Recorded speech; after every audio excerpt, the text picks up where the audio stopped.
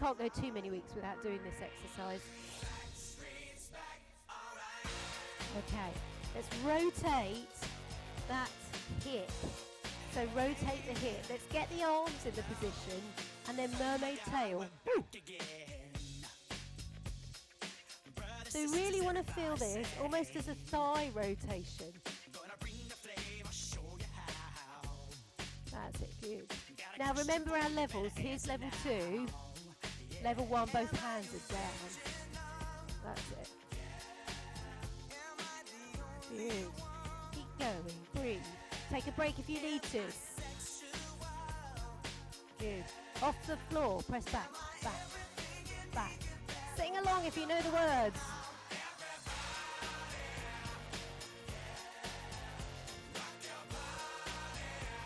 Good. It helps. Breathe. Hold here. Up. Up. It's going to be very small. Up. Up. Up.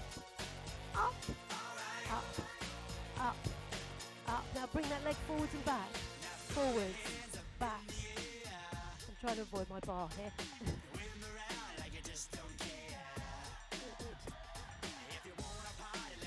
Hold. Now extend the leg and bend. Extend.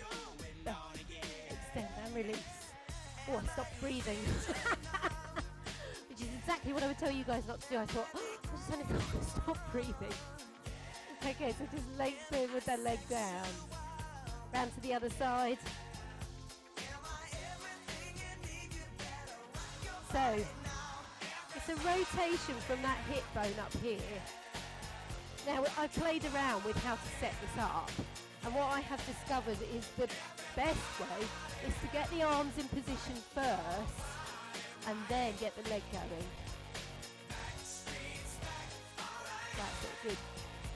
So we've got the hand on the hip that's the same as the leg that's moving.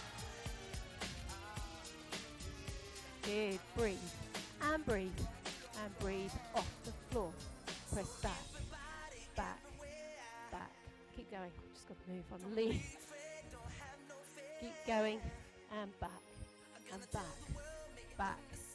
Back. Back. Breathe. Keep going.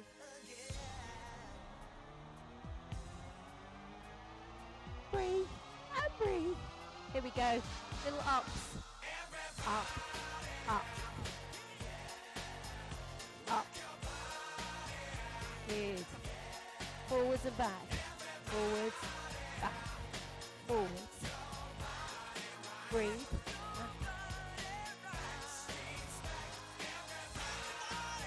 And then extend.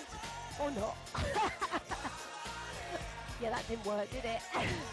That's a go though, I always think. Okay, so lengthen that leg. I forgot to give you the options on this side. One, two,